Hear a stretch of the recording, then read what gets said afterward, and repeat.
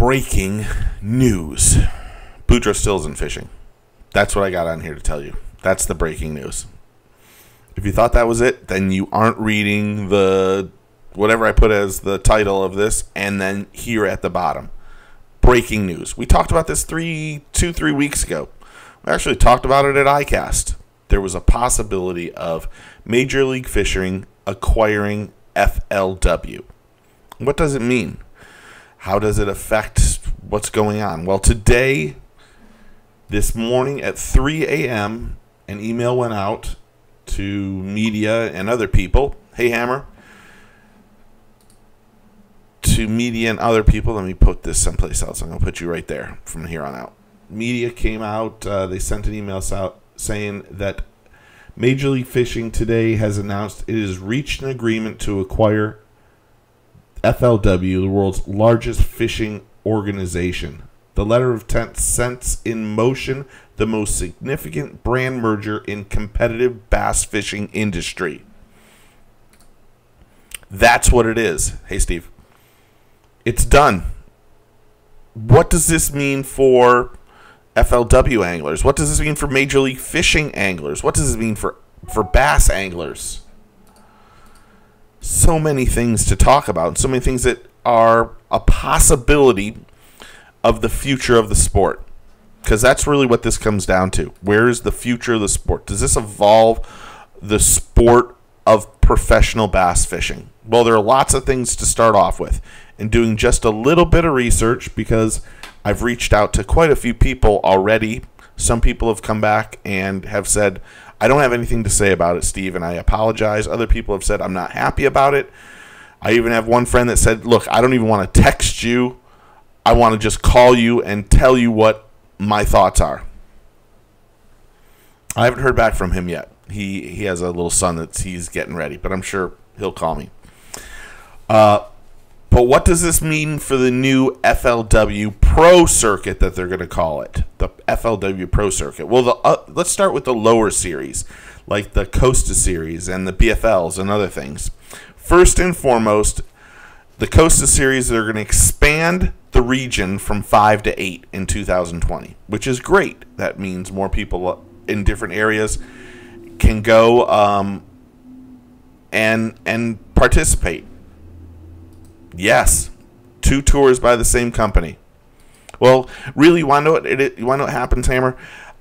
FLW has a bunch of series. They have the FLW, they have the the Costa series, they have the BFLs, they have all sorts of them. They're just I don't want to they are lower ranked because to get in the FLW is the top tier for FLW, but they have a Costa series. Now the Costa series is going to expand from 5 to 8 and they're going to reduce the entry fee for anglers and co-anglers. So that is a good thing. Now, does it mean you're going to mean win less money? We will see on that one.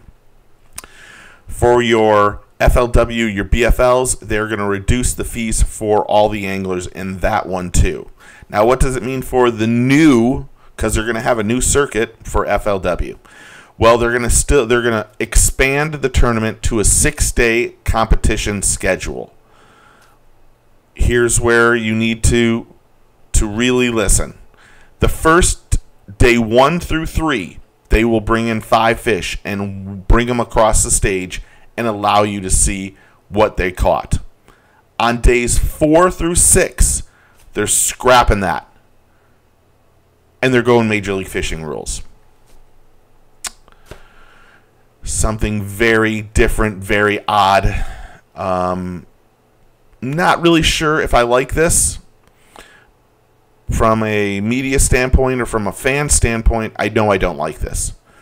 Um, but we'll see if they can make this somewhat interesting and get some drama going in this. They're going to take, uh, they'll have two days with the top 10. There's a whole bunch of stuff. But the, from, let me just reiterate that. Day one through three, they're going to bring in their five fish limit. Weigh them on stage, get the top five days four through six, you will catch, weigh, and release your fish right there.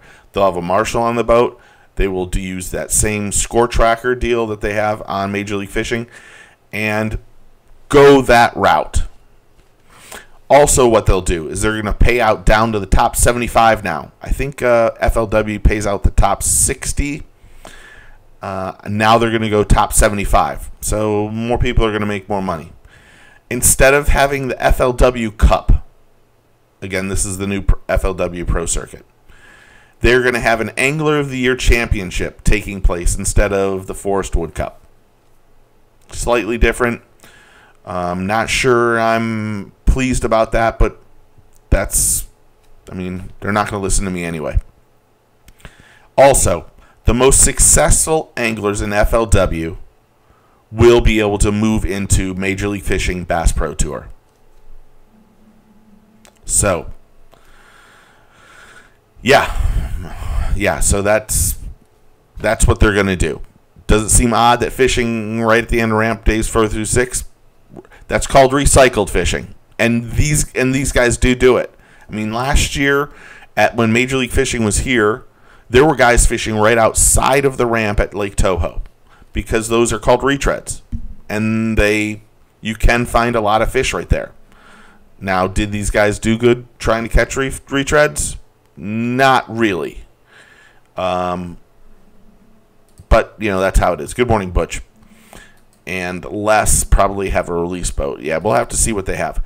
This is this is this is this is massive news for the industry. I mean, Major League Fishing last year with the Bass Pro Tour really did something that nobody thought was possible. And and and I got myself into trouble because I said some things that I had heard from other friends and people and talked about bass and but but really where does the truth of the matter is, where does this put the elites? What this does for Major League Fishing and FLW is now they have a new group of anglers that they can constantly revolve in. Revolve in. Now, Bass still has the college series and they have their other series, but a majority of the anglers start off fishing FLW and they move their way into FLW because getting, you know, there's not a lot of college kids that can just that can do with this.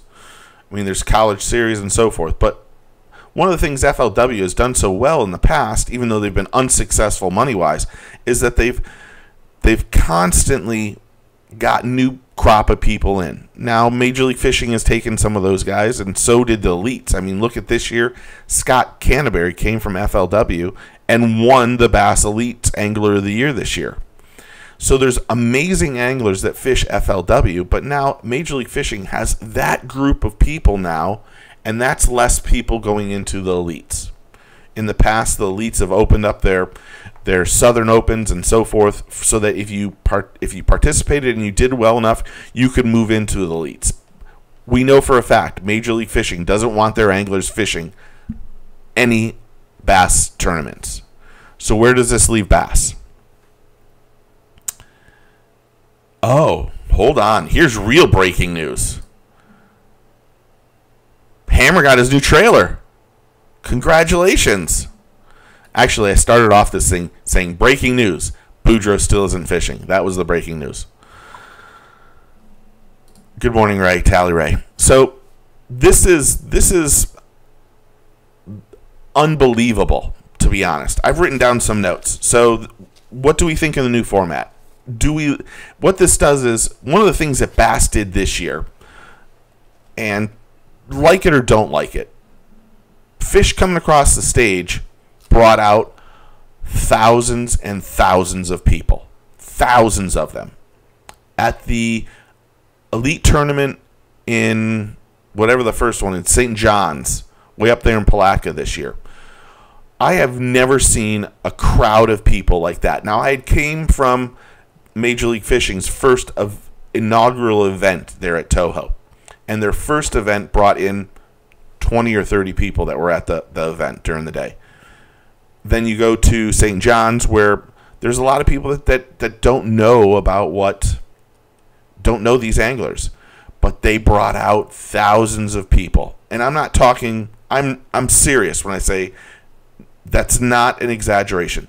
There were thousands of people at the, the bass event. And I think that's one of the things that's missing with Major League Fishing. But we know the results, and Major League Fishing, we have to remember, is designed to be a television show to get you ratings on television. And what they've done, hold on. I'm just surprised that people text me saying, "Did you see that they don't?" I want I want to. Mm, I want you to know. Look at this. Boudreaux sent me a text just now that says, "Did you see FLW acquired MLF acquired FLW?" You would think that he would know that this is I am doing a live video right now. Oh God, how do you do, Joe? So where does this leave Bass? How is Bass going to get new people involved into into their elite series? Also, you want to know what this is also good for is Major League Fishing now has a place for the guys that aren't cutting it in Major League Fishing that they can push them down into a different series, and those guys can conti- can continue to fish professionally and make money. Because let's be honest, those if you're not in the top 50 of the Major League Fishing, really, it's it's it's a crazy thing. Yeah. How, how is he not a subscriber? What up, Hank? Thank you, Les. Anyway, it's this is this is amazing news for the industry, and there's there's really so many questions. So we talked about it. New format for FLW. I mean, days four through six are going to go through the major league. They're going to use the major league fishing tournament rules. I don't know if I like that, but that's how they do it. But how do they how now? How do MLF and FLW attract the fans to show up at the tournaments? Do they not want us to show up at the tournaments? Because the live not weighing the fish there in front of us is not going to attract us to get out there. There's got to be something done about that. That's case that is without any problem case in point we have to do. Next, how will the anglers get brought into major league fishing and who comes down? Because let, this is this is one of the things that we've said and we've talked about on the radio show. The, the you've got Skeet Reese at 62 can you put down Skeet Reese into FLW and have him new be part of the new FLW Pro Circuit after three years? I mean, if he's in the bottom, he should get pushed down. But how do you push down someone like that? Um, so we'll see who gets pushed down. But this gives Major League Fishing an opportunity to pull some people down and then pull some people up that are also the thing. Now here's here's one of the things that I've talked to a bunch of, a bunch of friends there's a lot of guys that, like I said at the beginning, there's that they're not happy about this. But now they're going to have to make a decision. Are they going to stay with FLW and continue working with FLW and then hoping that they get brought into the MLF schedule? Or are they going to jump now into the elites? So, really, we're, what we're going to see during this off season is I bet we're going to see some of the anglers automatically get moved over to the elites. They want to, they might not like Boyd uh, Boyd has a lot of detractors, but I'm going to tell you one thing about Boyd. He's the smartest man you will ever meet. This guy is a flat out genius. He tells it to you straight. He isn't going to. Now, sometimes Boyd will work his way around a question because some of the things he can't just go out and say. He's got sponsors and he's got things that he now. Boyd has a lot on his plate. But Boyd is a genius. That is the truth. Like him or don't like him, it doesn't matter. I'm telling you, the man is a genius. What he's done with Major League Fishing and the Bass Pro Tour is not even, you can't even do it. Chris says Bass will be bought within the next three years. I think it's gonna. I think it's gonna happen. That is crazy. Bass was in Michigan last week, and I didn't go. And why? Because I don't want a lot of these guys. I didn't know a lot of the guys, but watching the event, yes. Well, the truth, the Chris, uh, I I can put this up, Chris. Holy cow, Chris, that's a lot.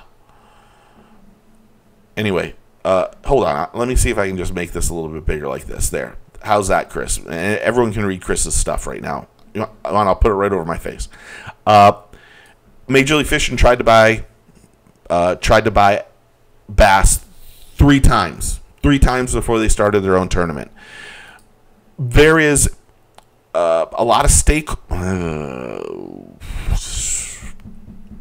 Uh, how can I say this? Uh, there's um, there's a lot of stakeholders in bass that have uh, staked. Oh God, I could get in a lot of trouble here. Uh, I don't know how to say it to be honest, without getting myself in trouble.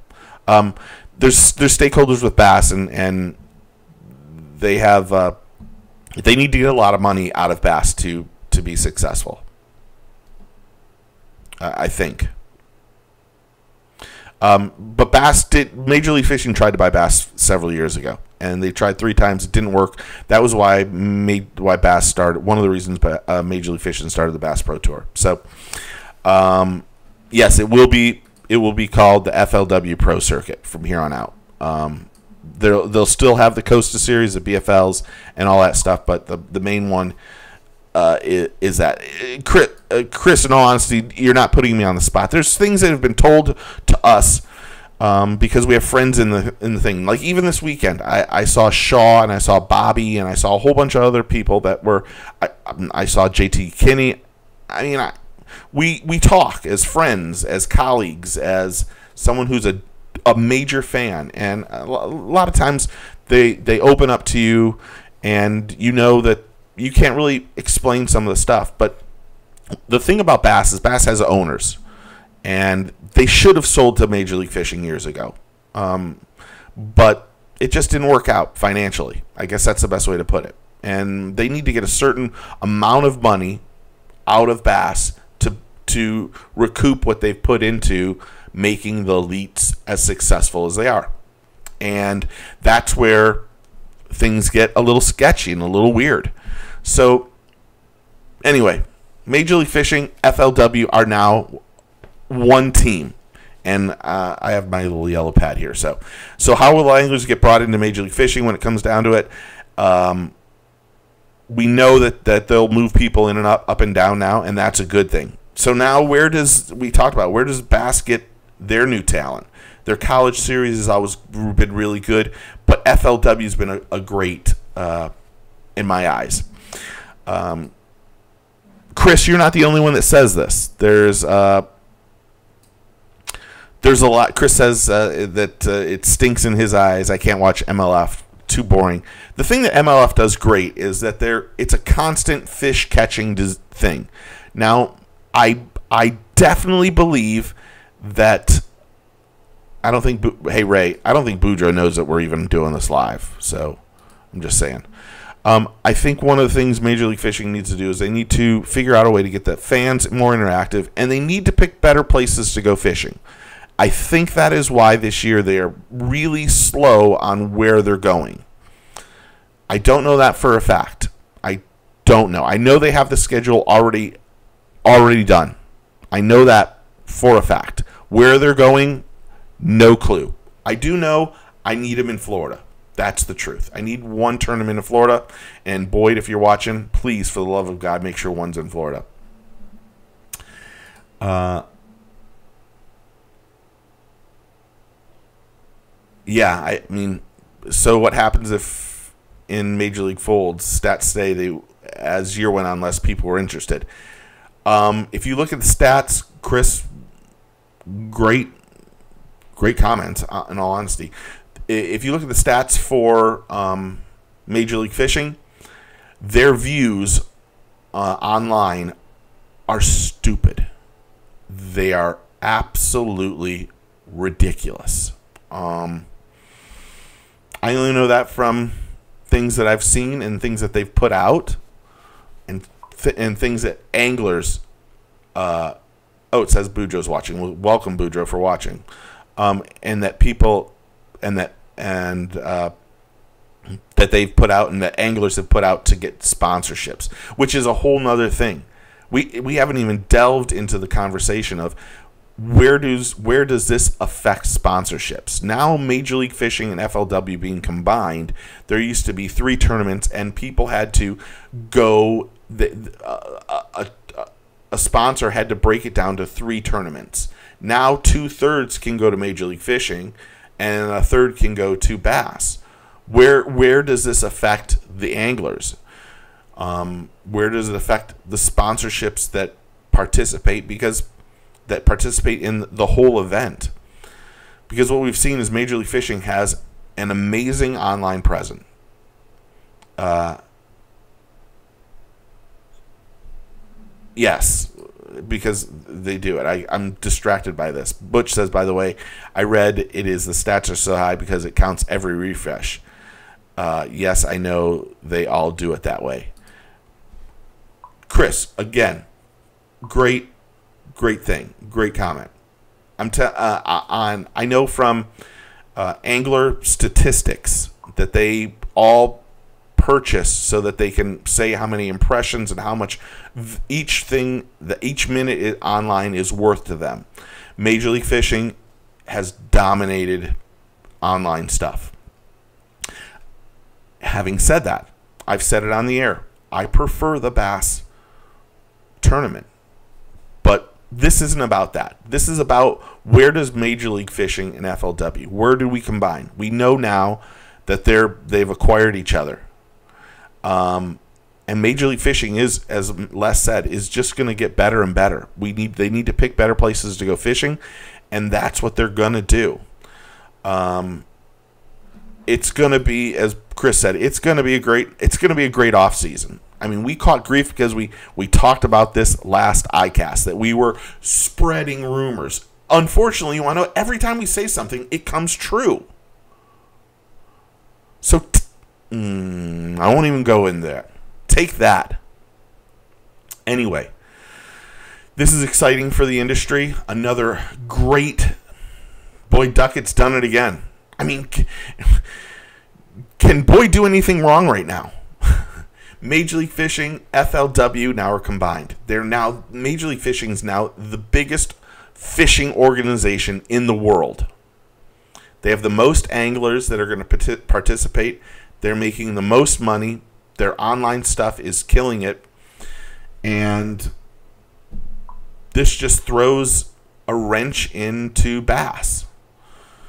And I'm not trying to say anything, and uh, let me just make sure I say that. Because I don't want someone to come back at me at the first tournament I'm, I'm talking smack about bass. I'm not talking smack about bass. I think what Bass did last year was phenomenal. Phenomenal. I enjoy the Bass series. I enjoy watching the five fish come across. I enjoy that. But Major League Fishing is is is changing it up, man. This catch weigh release is is is the future. However, I'd like to see him catch weigh release, but anything over like six or seven pounds, you bring to the table and then show everybody that giant fish. Let's say anything over eight pounds, you bring to the weigh in and just show that stud fish. That's what I'd like to see. But I'm not part of Major League Fishing. So I'm just here to tell you what I know. Oh, having said that, let me cancel this because I just got a very important phone call. So take a kid fishing. Hold on. Get your fish on. And maybe you'll see me after this. Later.